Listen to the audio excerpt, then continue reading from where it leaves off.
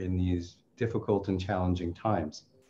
Um, so since we do have a hard stop time that we're going to try to keep to, without further ado, I'm going to introduce Dave Lyons, who is going to uh, host the event from here on. I will be in the chat room ready and willing to answer any questions that anybody may have. Also, um, this event will be recorded, so anybody that doesn't want to appear on camera, uh, please just turn off your camera and no children should appear on any recordings just per BSA rules. Um, later on, um, as we scouters usually like to do, uh, I know we like to get together and, and talk. I know I, I, get, I usually find a lot of the best information uh, in those parking lot meetings that we always tend to have. So at the end of this, um, Herb Dodds, who is our technical guru, will explain, you know, how you can still do that. We have certain breakout rooms set aside that he can put you into. So if you want to continue talking, or if you hear somebody, you know, talk about something that piqued your interest and you want to find out a little bit more, um, Herb will let you, you know, connect with them. So with that, I'm going to introduce Dave Lyons. Dave is a scout of over 45 years. He's an all-around great guy. Um, he's got a fountain of knowledge and, and wisdom. He's um, he served on several national groups uh, for Cub Scout material and programs, and he's taught several courses at Philmont. So, Dave, take it away. Okay, thank you, Al. It's really great to be here. Every Scout meeting should start with an opening. Openings are sometimes difficult on virtual, but I found this recording. It's four minutes. I think this would make a great opening for our meeting and for your meetings.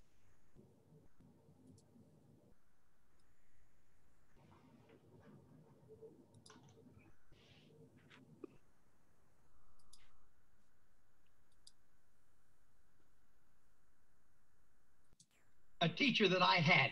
Now I only I went I went through the seventh grade. I went to the seventh grade. I left home when I was 10 years old because I was hungry. I used to this, this is true. I work in the summer, I go to school in the winter. But I had this one teacher, he was the principal of the Harrison School in Vincennes, Indiana. To me, this was the greatest teacher, a real sage of, of my time, anyhow. He had such wisdom. And we were all reciting the Pledge of Allegiance one day. And he walked over, this little teacher, Mr. Laswell was his name. Mr. Laswell is, is uh, he says, I've been listening to you boys and girls recite the Pledge of Allegiance all semester, and it seems as though it's becoming monotonous to you. If I may, may I recite it and try to explain to you the meaning of each word. I me, an individual, a committee of one, pledge. Dedicate all of my worldly goods to give without self pity. Allegiance, my love and my devotion to the flag, our standard, Old Glory, a symbol of freedom. Wherever she waves, there's respect because your loyalty has given her a dignity that shouts, freedom is everybody's job. United. That means that we have all come together. States, individual communities that have united into 48 great states, 48 individual communities with pride and dignity and purpose all divided with imaginary boundaries, yet united to a common purpose, and that's love for country. And to the Republic, Republic, a state in which sovereign power is invested in representatives chosen by the people to govern. And government is the people, and it's from the people to the leaders, not from the leaders to the people for which it stands. One nation, one nation, meaning so blessed by God, indivisible, incapable of being divided, with liberty, which is freedom, the right of power to live one's own life without threats, fear, or some sort of retaliation and justice, the principle or qualities of dealing fairly with others. For all. For all. Which means, boys and girls, it's as much your country as it is mine. And now, boys and girls, let me hear you recite the Pledge of Allegiance. I pledge allegiance to the flag of the United States of America and to the republic for which it stands, one nation, indivisible, with liberty and justice for all. Since I was a small boy, two states have been added to our country, and two words have been added to the Pledge of Allegiance under God. Wouldn't it be a pity if someone said that is a prayer and that would be eliminated from schools too?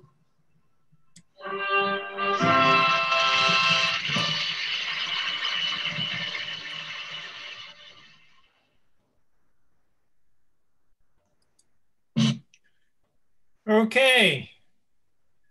So that was pretty meaningful. Uh, there's a Charlie Daniels version where he reads all those same words and says it, and he's put little video clips in for each of the phrases. If you think your your Cub Scouts would enjoy that interpretation of it better, I saw that one when it happened in 1969. So our first presenter tonight is Christine Pep, Cub Master of Pack 36 Vineland. She has maintained weekly meetings since we first started quarantine and is running very close to 100% retention. And when we had our planning meeting for this, she just she's got a whole slideshow and everything to show you. So, Christine, take it away.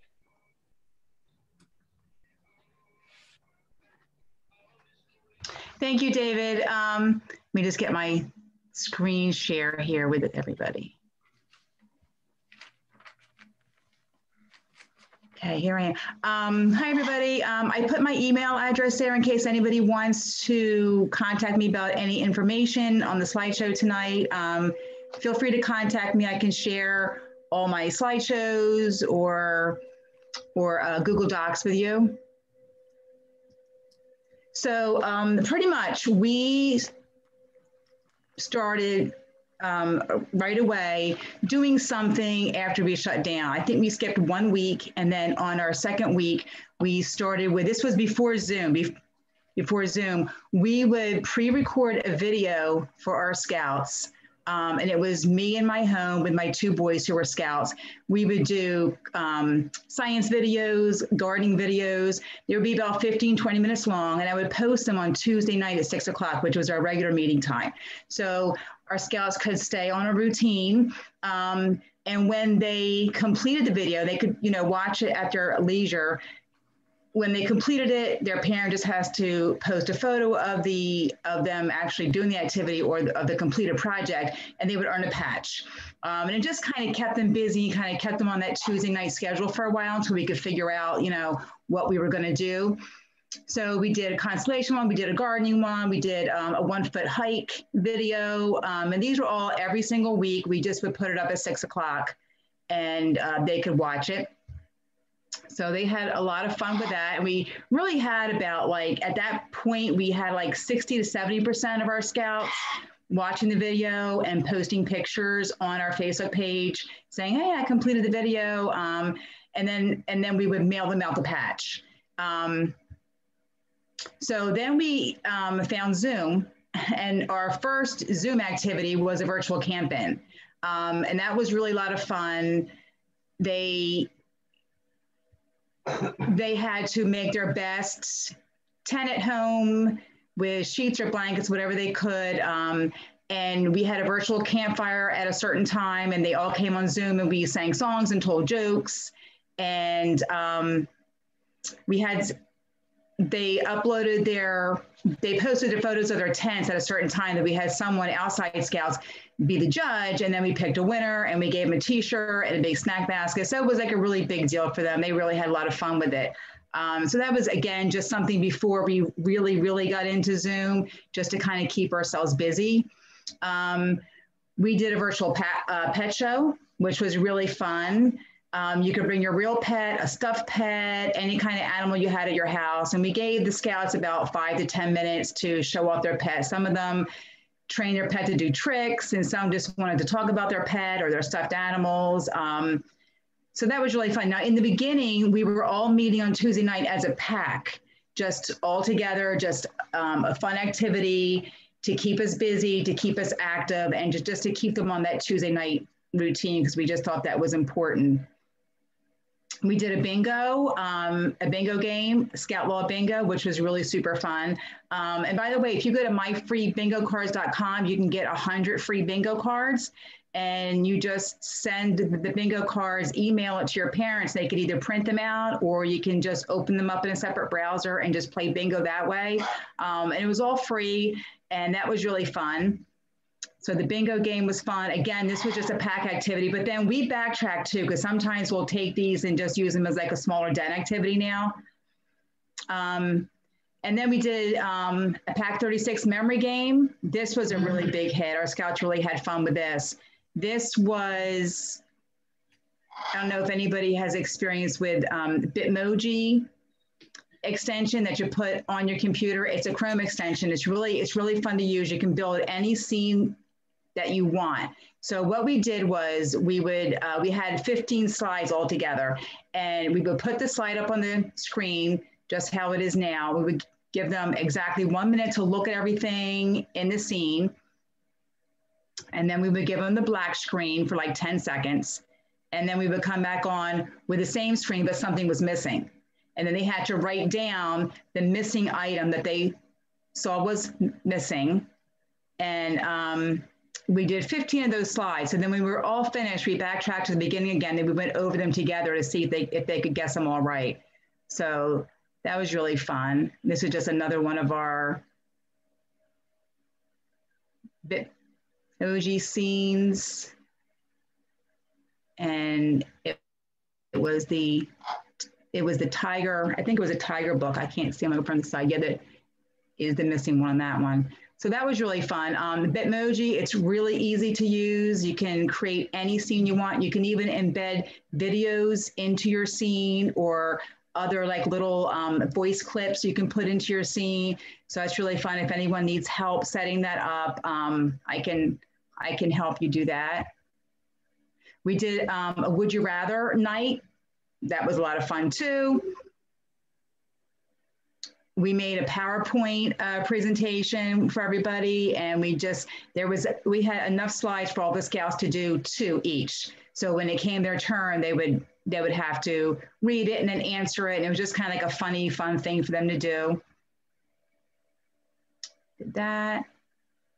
Um, we also did a skit. We also did a skit. This was um, because when we were doing our weekly activities, we would also have a virtual pack meeting at the end of the month where we would have a skit and then we would um, mail out all the all the belt loops or patches that the scouts earn. So we would send this was our this was our bear den one two yes five kids. So th- this was our bear den um, and they, they each had their own part. We would send them their part and they would video it at home individually and then we would just piece it all together for a skit um, and I just put this one up here just to show you like how easy it is to piece together and it just came together really nice. And I just realized like two minutes before the meeting that this is the wrong video for that um, scripts, but you'll get the idea anyway. but they all had their own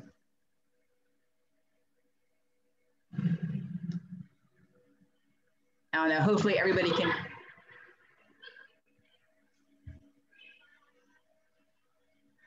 Can everybody hear the video? Oh, you can't hear it?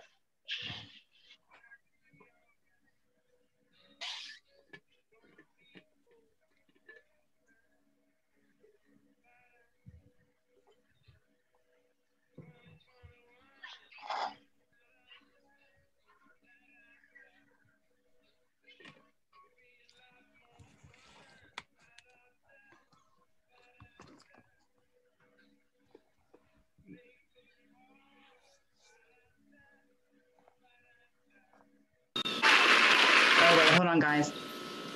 I don't know.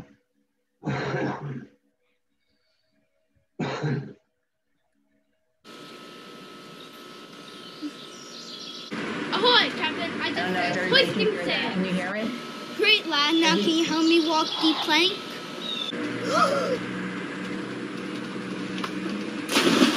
Captain, I just finished raising the anchor. Great, lad. Now can you help me walk the plank?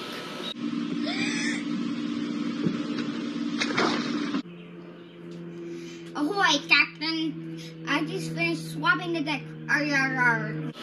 Great, lad. Now can you help me walk the plank?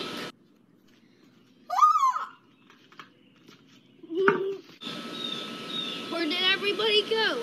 Well, the plank, I'll have to walk you myself.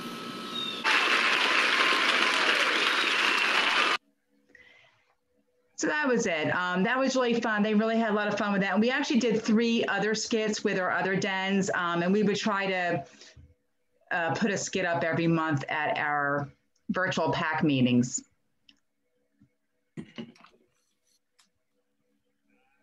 Um, okay, then we started getting more into that. All of that took us into like June, and then we we take the summer off. Um, and then when we came back in September, we really wanted to structure our meetings more. So how we do it now is each uh, den leader plans their meetings for the month for their den. They type up plans for the month, and then they get their supply bags for their scouts. Um, the parents will pick up the supply bags at their house, or they can kind of, you know, meet them somewhere to make sure their scouts have their supply bags. And then we meet every Tuesday on Zoom we start our meeting as a pack together. We do our opening, um, and then we go out into separate rooms and they'll have their activities with their den leader. Um, they have their bag with them with the instructions in case they miss a meeting, they can kind of catch up at home. But um, we've we've had um, we've had like a lot of success with them because we give them their supplies and they have everything at home to do it. So um, so that's been that's been working out good for us. Oh, let me go back. Um, this is my prize table because we always ask our scouts that to um, to come in their full uniform, which is their hat, their shirt, and their neckerchief. Um, and every time they come in their uniform, they get a point, and they can save their points up and get little prizes. Um, so I would say probably like 80% of our scouts that come do come in their uniform. So we just try to explain them because when we were having our Zoom meetings weekly, in the beginning, it was we were having some of them wanted to eat, you know, eat eat snacks during the meeting, or they might be in their bedroom, might be playing with toys during the meeting. So we just kind of really explained to them that, you know, we're treating the virtual meeting like we would our regular in-person meeting. So we want them to wear their uniform and, you know, come ready to do something fun. And um, now we're doing an outdoor pack meeting every month with some kind of fun activity. So we have our virtual meetings on Zoom and our end of the month pack meeting, which we've had two so far. So we, have done a bicycle rodeo. That was a lot of fun. We hand out our awards and we had our bicycle rodeo, talked about bike safety. And we and we are really fortunate because we have two large outdoor areas that we can use for activities like this. Um, so it really works out well for our pack. And then in October, we did a flashlight pumpkin hunt meet pack meeting. Um, that was really a lot of fun. They had to find the little pumpkins with clues on them with our flashlights.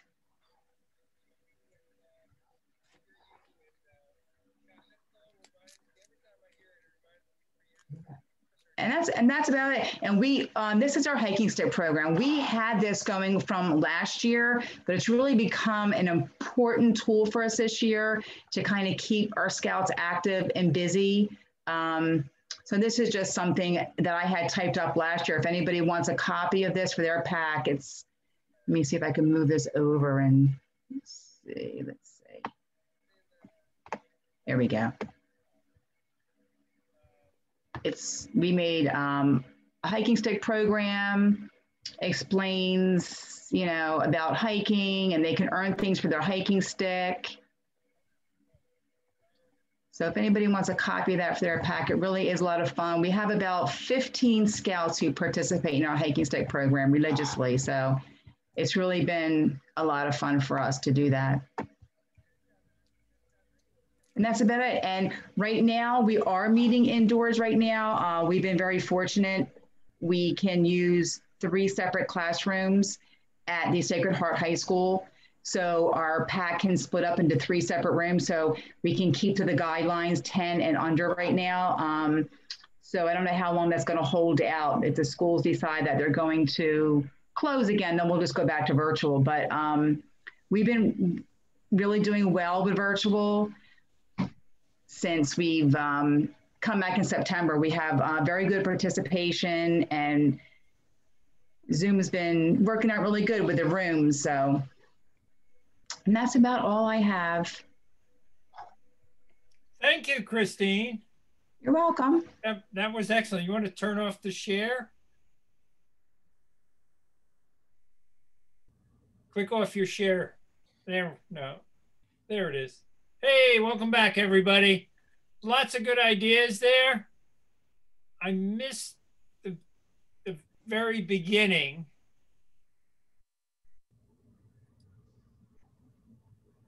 of her presentation. But one thing that's worked excellently, Al has done this, has been also a scavenger hunt. I don't know if Christine mentioned it because I had to, to run take care of something. But this is one that we, Carol James picked up at Etsy that we shared at our roundtable. And this would get the kids would have, there's fun things to do, things with wheels, things with numbers, but there's things that find out what their makes their your Cub Scouts happy have something with a face on it. See if they bring you a smiley face or something. And Al Garcia, that created this webinar, inspired us to do it. He did a scavenger hunt. And he had people find out um, what, how, who had the most rolls of toilet paper in their house. Yeah. Now this is with my troop with older boys, and it was a blast. We had a, a really great time. This was right at uh, right, right, right at the height of the toilet paper shortage. So uh, we figured, you know, let's let's have fun with this. So we would give the scouts 90 seconds to come back with whatever item we called out. So it would be hard to find items. So it'd be okay, who could bring back the most rolls of toilet paper? And they had to be either in a package. You couldn't take the ones out of your actual bathroom. And the winning number, believe it or not, was 57 rolls. One family had 57 rolls of paper. And then we also asked them to, you know, take pictures of like, you know, who had apples, who had bananas, you know, uh, anything that might have been hard to find. It, it, was a blast. You know, the scouts really enjoyed it. And then we even did a uh, talent show, which would work great for Cubs as well. And we allowed them to either pre-record it or they could perform it live. And it was really incredible, you know, all the creative things that they came up with. And we allowed leaders to participate also. So that was that was fun. Thank you, Al. It was pointed out to me the video was by Red Skelton, and because I watched it live when it happened, I know who he is. But a lot of people, he's way before everybody. And like I said, there's also you just Google for it on YouTube, and there's also a Charlie Daniels version with little videos in there. But right now we have Amy Pesolano, committee chair of Pack One in Bridgeton. Amy, it's your turn.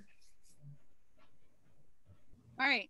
Hi, everyone. I don't have, sorry, it's a little dark in here. I'm hiding in my car from my kids because they always find me when I'm trying to do a presentation. Um, but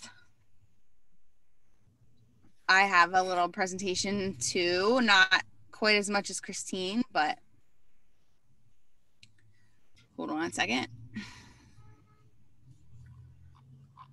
Sorry.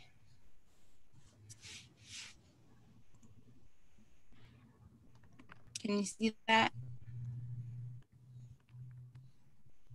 Okay. Um, if anyone has any questions, my email's there too. Um, feel free to reach out. Uh, so let's see.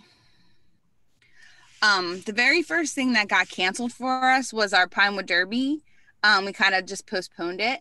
Um, that's not the first slide on here, but the first virtual activity we did when we we took a break. We didn't keep going in the beginning. We weren't really sure like what we were going to do and we didn't think it was going to last as long as it did actually.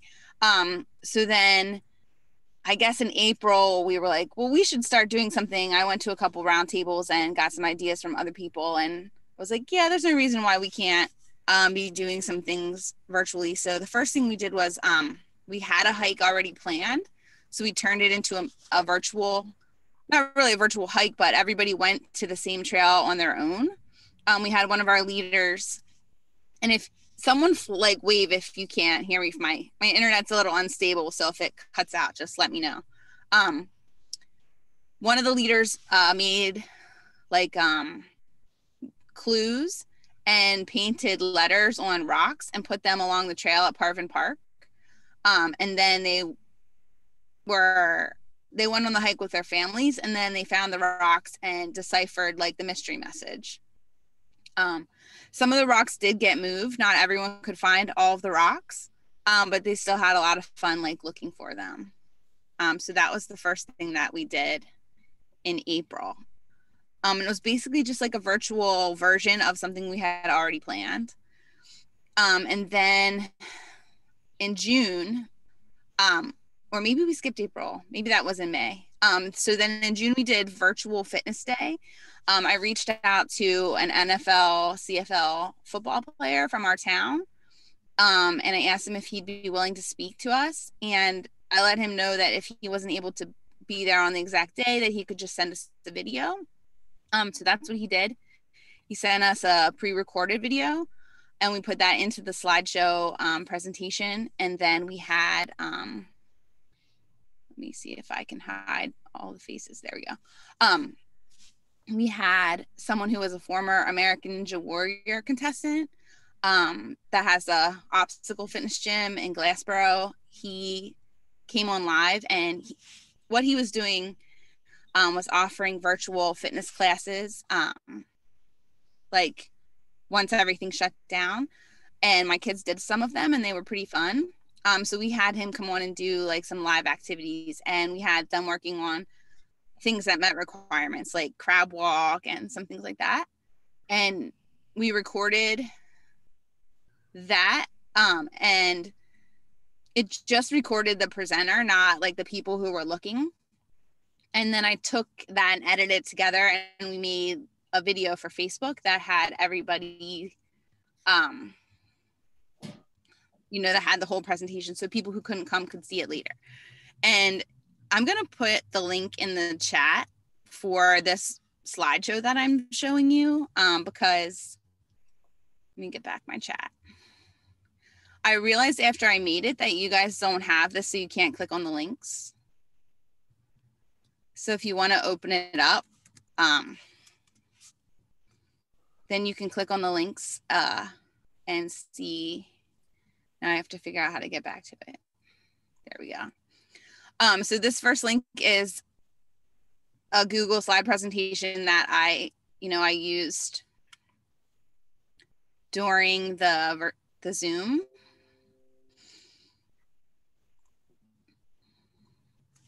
It's going to be slow. I just wanted to show you that you, it's really easy to just pop a video into a slideshow presentation. So that's what we did with his. We did the Pledge of Allegiance. Um, I had my son lead that, just like we always do for pack meetings. Um, then we did announcements and um, some shout outs to some kids who were doing like COVID challenges. And then um, his video was just like popped in in there. Know if it.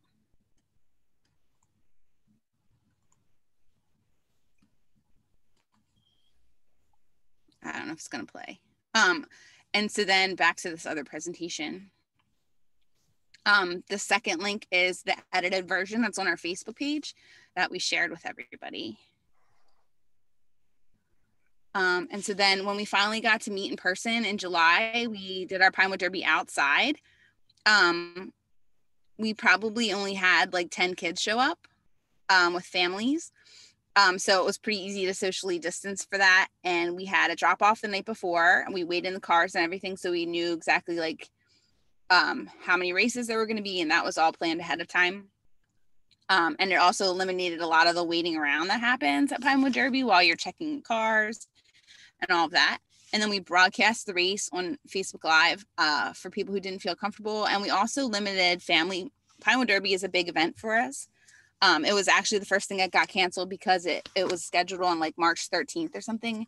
And we weren't sure if we should have it, we shouldn't have it. So we made the decision to call it um, just because we meet in a church that has a, a, big elderly population and family members and grandparents come to our Pinewood Derby. So then when we finally had it, we wanted them to be able to participate, but we wanted to keep them safe also. So that's why we did the broadcast on Facebook Live. And it went pretty well, I think. Where if we do Pinewood Derby in January, we'll probably do that again. Um, depending on the guidelines, we might try to race it inside, obviously in January, but only have leaders show up and broadcast the race live. That way we can have it like a normal schedule instead of waiting and having it outside. Um, a lot of the cars like gained weight from March to July uh, because of the heat, and they didn't really run it like we expected them to. Um, so this year, this time, we're going to try to keep it more like normal. Um, and then this last thing I don't want to hide you guys' faces because I feel like I need to be looking at people to talk to them, but I don't want you to see that there either. So this is um, an interactive Google Slide classroom that I made for the scouts. Uh, the plan was to have teachers show it, um, like kind of like a scout talk concept. Um, but we really didn't get into the schools the way I had hoped. Um, see if I can click on it here and show you a little bit of it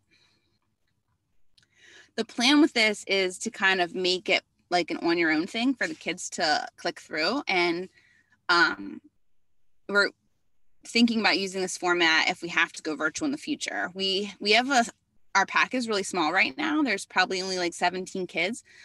Uh, so it's really easy to meet in person and outside and be socially distanced because some of the dens you know only have a couple of kids in them. Um, so we've been back to normal. Um, but if we do have to go back to virtual um, everything in the slideshow presentation is clickable. This uh, copy of the mini mag is clickable, joining the pack. Um, I did show this at our virtual Q&A night. Um, but then like they could click around and see some of the things that scouts do. And if you click on it, it takes you to a different slide. So it takes you down to slide 12, which is um, specific about that particular topic. Um, so there's all the things that we did and past pictures of things that we did as a pack. Um, and then when they have to find their den, um, some of these other things are clickable, like this goes to a website. Um, some of them, like this will go to a video about how to build a fire or how to set up a tent. Um, so I'm still working on this as a work in progress, but there's going to be one for each den so that they can do some of the of the things that uh, on their own like with a video like some of the challenges that were put out before um when everything went virtual and stuff like that. So i'm trying to get back here to that other one. I think that's my last slide. Yep that's it.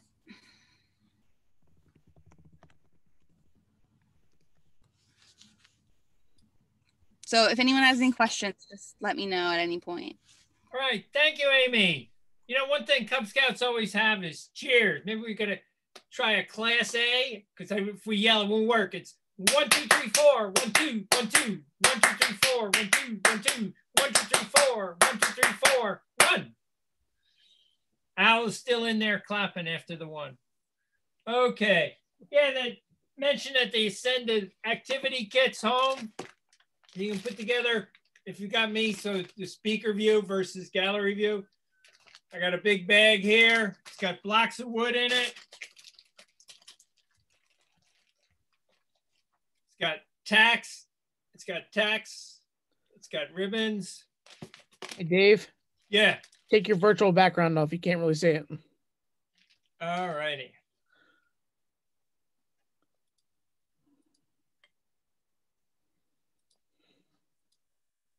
Now you'll see my uh, my mess.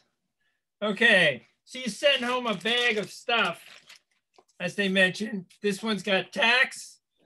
It's got ribbons and it's got blocks of wood and there's some markings on the blocks of wood. And then when the, you have your meeting night, they can assemble it at home.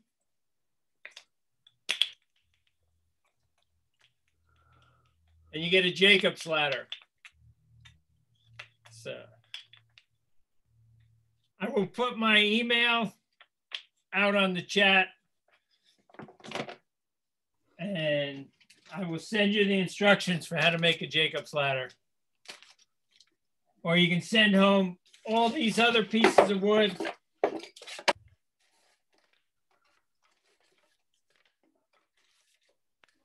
And they can build a toolbox in your meeting. But as Christine had mentioned, you send home those kits during the week. And then when you have your meeting, they can assemble everything together. And our last presenter tonight is Jennifer from Pack 220. She's their outdoor activity chair, and she recently ran a very successful virtual camp out for Pack 220 and Pack 289. Jennifer, it's your turn. Hello, everyone. Okay. Um, I don't know. I feel like uh, after following up those last two presenters, it's a hard sell for me, but I'll do my best. So here we go. Hold on a second. Let me just share my screen.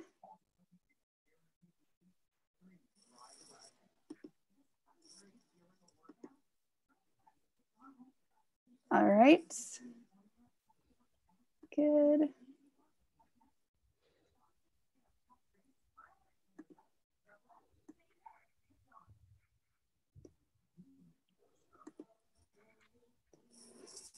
All right, I should be presenting now. Is that correct? Yes. Perfect, thank you so much. Okay. So I am Jennifer Totora. I'm the Outdoor Activities Chair for Pack 220. Um, and first, uh, since you guys don't really know who I am, I just thought I'd tell you a little bit about myself. Um, so I'm a biologist. My background is in environmental education, and most of my career was in um, leading hiking trips and um, camping trips and things like that, um, restoration programs and scout programs professionally and that sort of thing. Um, now I'm a science writer um, and also serving as the outdoor activities chair for Pack 220. Um, so I'm going to mostly be talking about uh, what our pack has been doing as far as virtual programs, but specifically um, the virtual program that we just recently ran. So let's get started with that. Let's see. So just to sort of reiterate what a lot of you already know, and I think this is really important on how to make a successful virtual program, um, you should really just remember that kids are in virtual school most of the time. So you don't want to lecture at them. Um, and you want to do something hands-on and fun. I think a lot of the other presenters kind of talked about this, but I think it's really important. Um, and something that we discovered is that just letting them have time to socialize is sometimes more important than having the structured part because they don't really get to do that in school too much. Um, but it's also very important to have a structured plan and a schedule for a lot of reasons. Sometimes people don't have time to do everything, so they can only jump in for part of it. So having that structured schedule is very important as well. Um, letting the parents know what materials they need is really helpful and finding out what your parents' skills and talents and careers are are great so that then they can take on the leadership role um, is very useful. Okay, so here's the um, specific event that we just did, which was a virtual camping event. So um, we tried to notify the pack as early as possible. Um, we kind of just planned it on the fly uh, in late September. So we really only gave them a month notification. But um, as soon as we knew what it was, I put together this really rough flyer that you see here, which had almost no um, information on it, but it at least let them know when it was and that there was something that was going to be happening. Um, and then we gave them consistent reminders through Scoutbook every week. And every time we had something new to tell them, we would blast it out to them through email. Um, hey, here's the schedule. Hey, here's another flyer of something cool that's going to happen. Make sure that you come. Because um, we kind of have some issues with people attending things. So by consistently telling them, oh, don't forget it's happening, and here's something else new, like a carrot that will get them to show up. Um, I think that that's really useful. Uh, we had a clear timed schedule, um, share the activities and needed materials in advance so that they would know to be prepared. And then um, here is the schedule that I put together for it. So um, some of these things were designed to be done in person um, over Zoom. I mean, not in person, but you know, over Zoom, um, where we were face to face on Zoom doing it, where we were carving the pumpkins together. So um, that was really fun. And it was designed to be different levels where some kids that were very young were just drawing pictures and some of the older kids were using their knife skills and actually carving it themselves. Um, the scavenger hunt, which this is a scav, you mentioned scavenger hunt that you had gotten um, from the internet. This is one that I made myself. Um, we actually planned time for the kids to go on a hike with their families and then they would come back and share what they actually found. And it was like a competition to see who found the most things on the list. So then they would share what they actually collected on their walk.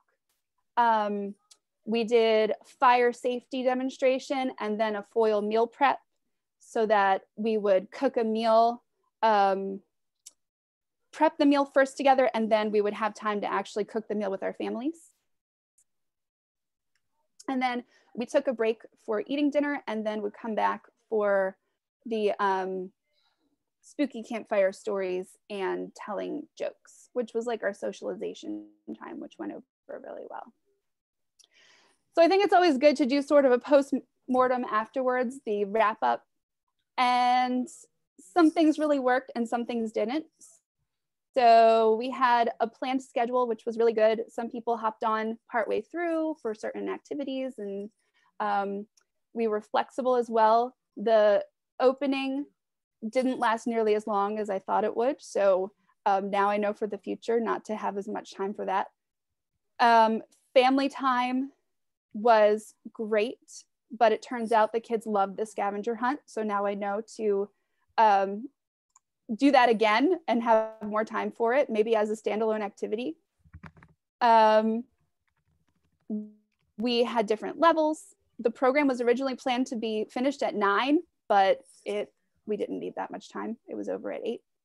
Um, and at one point, an entire den broke away and did their own activity, and which was fine, but I just didn't know that would happen. So um, we're planning some more virtual events for the future.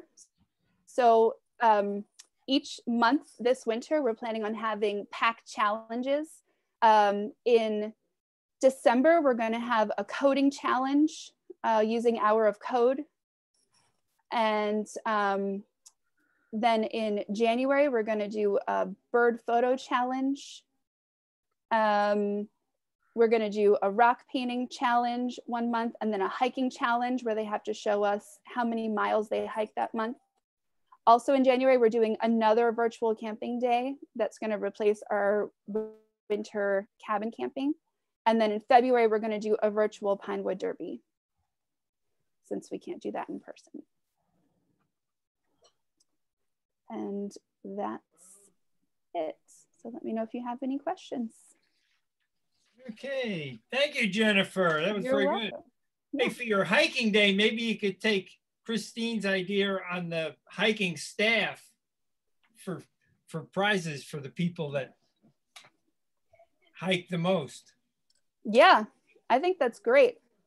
I actually wrote that down as an idea. I think that's awesome. I'd like to talk to you about that some more. Okay. Hey, Al, why did the turkey cross the road? I don't know, Dave, why did the turkey cross the road? It was Thanksgiving and he wanted people to think he was a chicken. and turkeys are the sloppiest eaters out in the animal world because they gobble everything up. those are those are fresh off Boys Life's list of 45 Thanksgiving jokes, Very which I good. just Googled for during the last presentation. And there's obviously 43 more just as good as those. So that's our, do you have any interesting questions? That was the end of our formal presentations. Al's been monitoring for questions. Yes, so far I haven't seen too many come up. Um, but if anybody does have any questions, you know, feel free to type them now. Yeah, I'll give you some time to type. I know I'm not a fast typer, so I'll give you a couple of minutes to, to type something in there. But um, I learned a lot, you know, tonight. I, I've got some great takeaways that I'm actually going to uh, modify and use for my troop. Um, everything from, you know, uh, the memory game. I, I think that'd be a blast to do with my troop. I think they would enjoy that as well. And uh, you know, I love the painted rock and and the skits and all of that. You know, I, I think those are all great activities because it plays to just about all levels of scouts. And virtual, that virtual Kim's game, like she did with the missing pieces, that, that was a great idea. Yeah, yeah. I'm not sure exactly how you did that, how you set that up with the the Bitmoji. That's something I'll have to talk to you about. that looked pretty cool. Uh, there are two events coming up. The 21st, this Saturday, is a shooting day at Pine Tree for Cub, Cubs can come. Uh, some Cubs from my pack showed up for the last one of the last ones of those, and they got to shoot for over an hour because there were so few people in attendance. They just said, "Well, you can stay here and keep shooting until somebody else shows up." And then the December 5th, the first Saturday in December, this is a good one, is a fishing day at Pine Tree. That's the one in Tabernacle. So there's there's two events. Council is doing lots, trying to do lots of different things to have us keep people active. So Yeah, but I, I want to thank our, our three presenters. A very, very fine job done on, on your part. Um, lots of great information. And um, if anyone wants to continue chatting or if they want to talk, you know, personally with uh, Christine and Jen and Amy, um, Herb can explain, you know, how you can get into a little chat room now if you want to have like a little parking lot meeting and, you know, just ask the questions that you might be afraid to ask, you know, on camera with everybody listening. There are no dumb questions. Yeah, so ask away. Our presenters are here to help you. And, and the only thing that we want is to see everybody succeed and, and have their programs thrive even, you know, during this pandemic. And hopefully we're not shut down, but it's starting to look that way. But um, we just have to prepare and, and be ready. Okay, Right. so Herb, you can uh, give them the technicals. You if anybody would like to go to a breakout room, just shoot a message in the chat and I'll bump you guys over real quick. And now, could I just say a quick thank you to Christine, to Jennifer, and to Amy for all their help and support, and for you and, and Herb and, and Dave for jumping on this. Um, and then certainly to everybody that's out there that, that is uh, running scouting programs in these very, very trying times. It always amazes me the commitment and the creativeness of, of all our, our unit leaders. It, it truly inspires me to, to continue to, to do what we do. So thank you all very much for, for what you do to, for the youth of our community. So thank you so much. yes, thank everybody that's out there.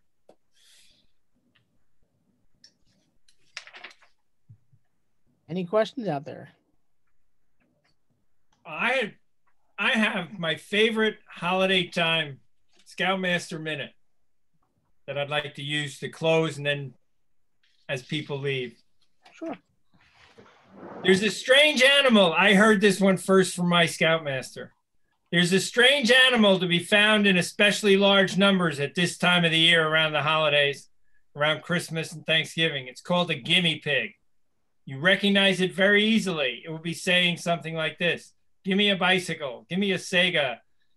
Give me electric new phone. Give me a motor scooter. Give me a pony. You can put in whatever toys you want. Have you ever seen any of these strange gimme pigs? Surely you haven't seen one in scouts. No scout could possibly be a gimme pig. A scout is pledged to help other people at all times. He wants to give. That's what he's thinking about. A real scout never thinks gimme. He thinks about the good he can do, the happiness he can bring to somebody else. Because as you know, he puts other people ahead of himself. He is thinking about other people, especially at this time of year. What will you give this Christmas? How much service to others? How much happiness to your family? What will you give? So, thank you all. Thanks everybody that participated and everybody that showed up and had confidence that we would have something worthwhile for you. Okay, thank you, everybody. Thank you, Dave. Thank you, Herb. Thank mm-hmm. you, Christine and Amy and Jen. Thank you so much, everybody. Have a good night and a happy Thanksgiving and stay safe.